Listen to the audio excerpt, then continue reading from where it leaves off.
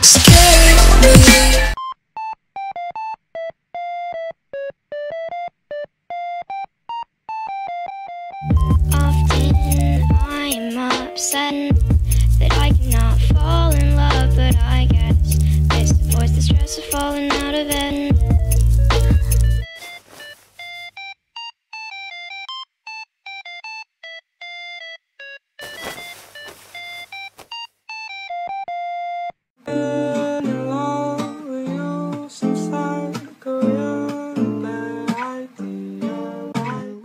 Después de 17 años de que se emitió la primera parte de esta serie, por fin la tenemos de vuelta. Seamos sinceros, la primera temporada no tenía trazo, es decir, no tiene una estructura argumental muy buena que digamos. Específicamente parece más un montón de disparates acomodados de tal forma que pareciera hecho a propósito para confundir al espectador. Aún así, con su impecable banda sonora y su excelente animación nos logra captar la atención. Tenemos 6 capítulos que al final de todo nos dejan con la sensación de querer saber más.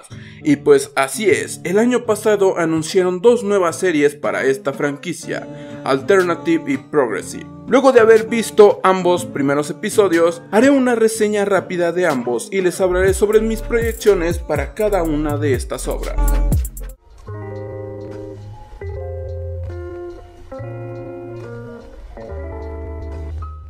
Furikuri Alternative o Furikuri Alternative o 3 supone ser una tercera parte, aunque yo lo siento más como una especie de spin-off adherido a la franquicia.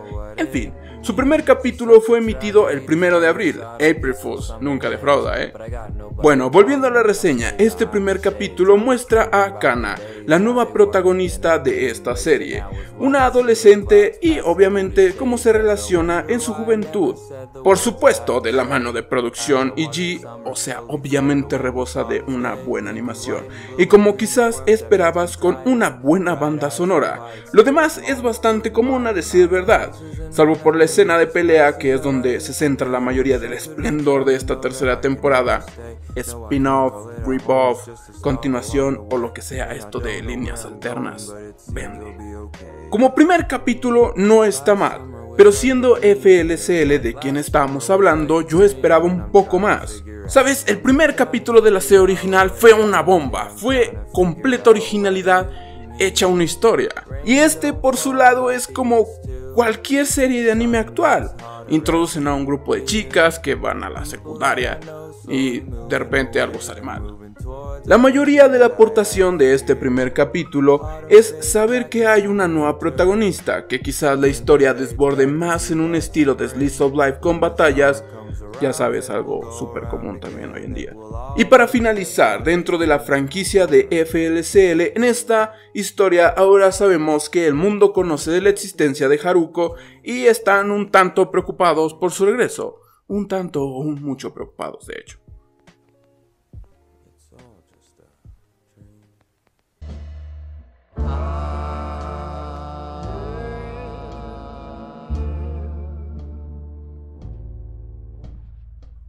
Progressive, por el contrario de Alternative, es una bomba de sorpresas y signos de interrogación desde su inicio. De lleno ya deben saber que nuevamente tenemos una nueva protagonista, Hidomi, una adolescente. Ser adolescente en Japón es muy duro a decir verdad. Progressive es continuación directa de la serie original, donde aún no ha aparecido los personajes de la serie original, salvo por Haruko. Y lo único que tenemos es hilos de Reddit repletos de teorías sobre el posible parentesco de Hidomi con Naota. ¿Qué? Se acaba de apagar mi celular. Te odio. ¿Qué? ¿Hidomi es la hija de Naota? En resumen de este primer capítulo, de lo poco que hemos visto de la animación me parece buena. Mm, el estilo es distinto al de la original, pero aún así, para mi gusto está bien, digo, no tenía que ser exactamente igual al original, han pasado casi 20 años desde que salió, entonces es entendible que en ese punto haya cambiado, pero desde mi punto de vista está bien. De las peleas que se han visto y de las escenas de exposición, se ven genial para mi gusto, y claro la banda sonora para estos dos primeros capítulos que han sido emitidos al momento que estoy grabando esto, está buenísima. Siguen siendo The Pillows, o sea, sin The Pillows no sería FLCL. Todos sabemos eso. Como aportación de estos dos capítulos, pues van varios puntos fuertes. Aunque aún así siguen dejando muchas preguntas abiertas que espero, espero solucionen por ejemplo, ¿dónde está Naota? Que sí aparece en el ending, pero espero que aparezca en la serie. Y hablando del ending, este muestra una escena donde Haruko se divide en dos entidades nuevas. La Haruko que ya todos conocemos, media loca, extrovertida, y un nuevo ente llamado José. Y no, no es mexicana, aunque tiene tez humilde. Hay un nuevo Kanti o algo por el estilo, muñeco titiritero de hojalata que aparece en Clanad. Y nos dicen que Hidomi es la llave. ¿La llave de qué? ¿Hay alguna puerta que se tenga que abrir en esta serie? ¿Están buscando el Stance Gate? No sé, dejan muchas preguntas sin responder que obviamente esperemos que la historia termine cerrando estas subtramas y que no termine haciendo un mayor embrollo de lo que fue FLCL original. Y sí, para un primer capítulo tiene muchísima más esencia de FLCL de lo que tiene la serie de Alternative. Y aún así hay algo que no deja de, de molestarme y es por qué cambiaron el estilo de montaje. Sí, tú, ¿por qué hiciste eso? Si el montaje que tenía la serie original era genial, no tenía que ser un montaje genial que a todos les pudiera gustar.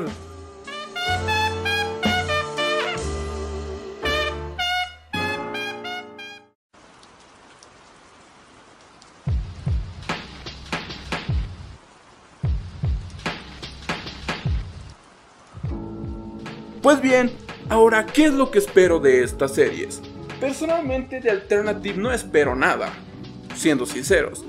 Me parece otra más de esas series de chicas colegiales, pero con especie de poderes y que tienen que pelear por su amistad. O sea, algo bastante común a decir verdad. Pero que igual con un par o un montón de plot twists podría terminar siendo alguna especie de serie de chicas mágicas que se terminan matando entre ellas con viajes en el tiempo. No lo sé. Y no me pregunten por mi estado al momento que redacté esto.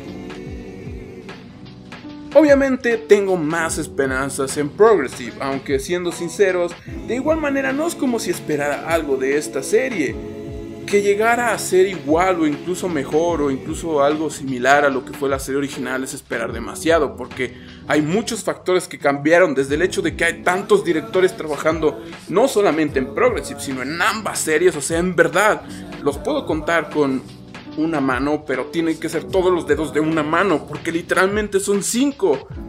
Bueno, son cuatro pero uno tiene doble rol porque también es director en jefe. En fin, el punto, y ya para finalizar, es que lo único es que espero es que estas dos series, si es que tienen correlación, se complementen bien entre ellas dos. Y si es que no la tienen, que al menos Progressive, que es la que figura para ser la continuación de la serie original, se desarrolle bien, llene esos huecos que la serie original dejó y que también los que sus mismas subtramas están dejando en su paso.